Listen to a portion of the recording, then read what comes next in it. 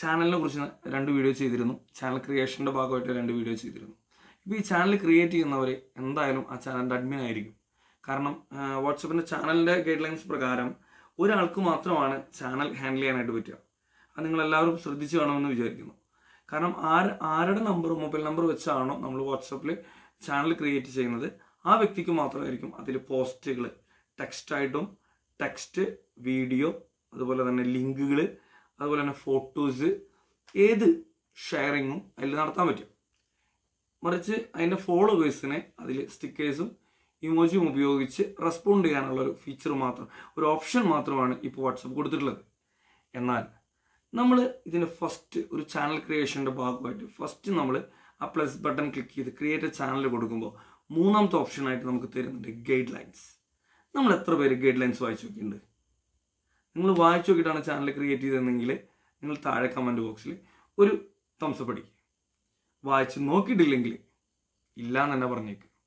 ഇനി ഈ വീഡിയോ മുഴുവനായിട്ട് കാണുക. ഇടയിൽ സ്കിപ്പ് ചെയ്ത് പോകരുത്. ഗൈഡ് ലൈൻസിനെ കുറിച്ചുള്ള കാര്യങ്ങളാണ്. ഈ വീഡിയോ നിങ്ങൾക്ക് അവസാനം വരെ കണ്ടിട്ട് നിങ്ങൾക്ക് ഇഷ്ടപ്പെടുകയാണെങ്കിൽ ചാനൽ ഒന്ന് ലൈക്ക് അടിക്കുന്ന കാര്യം ഒന്ന് പരിഗണനയിൽ വയ്ക്കുക കാരണം നമ്മളൊരു നൂറ് ലൈക്ക് മാക്സിമം നമ്മൾ ബിഗിനേഴ്സ് ആണെങ്കിൽ പോലും ഒരു നൂറ് ലൈക്ക് നമ്മളൊരു വ്യാമോഹം കാണുന്നുണ്ട്.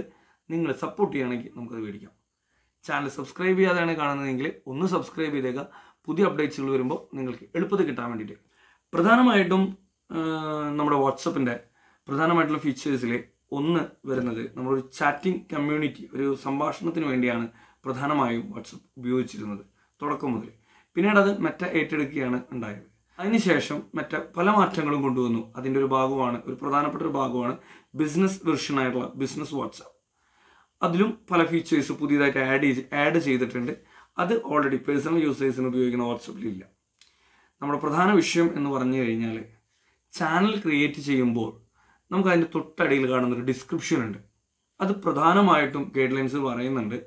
കൃത്യമായി എന്ത് പർപ്പസിനാണോ ആ ചാനൽ നമ്മൾ ക്രിയേറ്റ് ചെയ്യുന്നത് അത് കൃത്യമായി നമ്മുടെ ഫോളോവർക്ക് മനസ്സിലാവുന്ന രീതിയിൽ ചാനലിന്റെ ഐഡന്റിറ്റി ക്ലിയർ ആയിട്ട് വ്യക്തമാക്കിക്കൊണ്ട് ഒരു ഡിസ്ക്രിപ്ഷൻ എഴുതാനായിട്ട് മെറ്റ വാട്സപ്പിന്റെ ടീം നമ്മളോട് ആവശ്യപ്പെടുന്നുണ്ട്.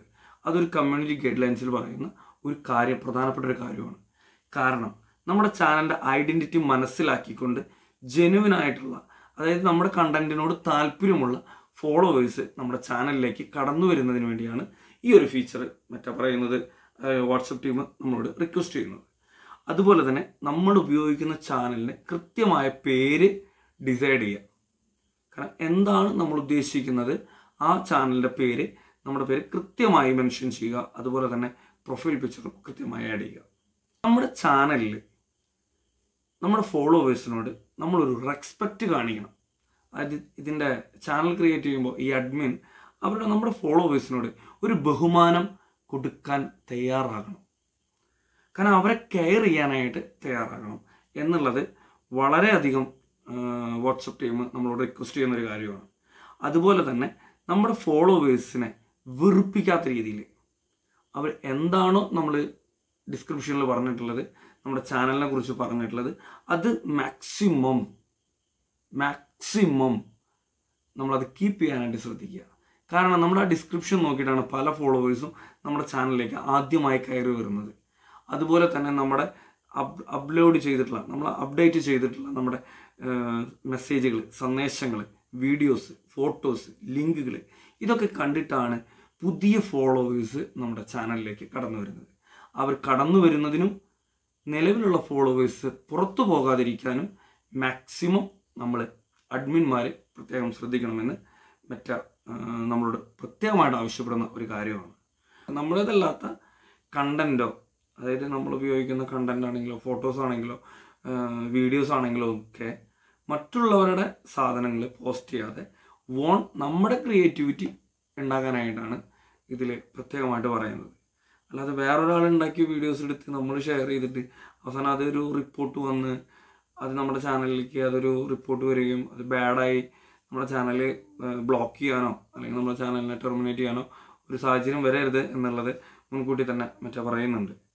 അതുപോലെ തന്നെ ചീറ്റിംഗ് ആയിട്ടുള്ള നമുക്ക് അറിയാത്ത കാര്യങ്ങളെക്കുറിച്ച് പറയാതിരിക്കുക. അറിയുന്ന കാര്യങ്ങളെക്കുറിച്ച് മാത്രം പറയുക. അല്ലെങ്കിൽ ഊഹാപോഹങ്ങൾ ഒഴിവാക്കുക. കാരണം മറ്റുള്ളവരെ പേരിന് ഒരു അപകീർത്തി ഉണ്ടാക്കാത്ത രീതിയിൽ നല്ല രീതിയിൽ പ്രവർത്തിക്കാനായിട്ട് മറ്റേ പറയുന്നുണ്ട്. മനഃപൂർവം തെറ്റിദ്ധാരണ പരത്തുന്ന രീതിയിലുള്ള പോസ്റ്റേഴ്സ് വീഡിയോസ് ടെക്സ്റ്റുകൾ അതുപോലെ തന്നെ ലിങ്കുകൾ ഒന്നും ഷെയർ ചെയ്യാതിരിക്കാനായിട്ട് പറയുന്നുണ്ട്. അപ്പോൾ നമ്മൾ ഓൾറെഡി നമ്മുടെ എല്ലാം എല്ലാവരും പറയുന്ന എല്ലാ സോഷ്യൽ മീഡിയ പ്ലാറ്റ്ഫോമുകളും പറയുന്ന സെയിം ഫീച്ചർ തന്നെയാണ് മറ്റേയും പറയുന്നത്. അപ്പോൾ അതൊക്കെ നമ്മൾ പ്രത്യേകം ശ്രദ്ധിക്കാനായിട്ട് മാക്സിമം നോക്കുക. നമ്മൾ നമ്മുടെ ഭാഗം വളരെ ജെനുവിനായി മാന്യമായി ചാനൽ ഉപയോഗിക്കാനായിട്ട് ശ്രദ്ധിക്കുക എല്ലാവരും. മാന്യത കൈവിടാതെ മാന്യമായ ഒരു സോഷ്യൽ മീഡിയ സംസ്കാരം നമുക്ക് രൂപപ്പെടുത്താനായിട്ട് നമുക്ക് എല്ലാവർക്കും ഒരുമിച്ച് മുന്നേറാം.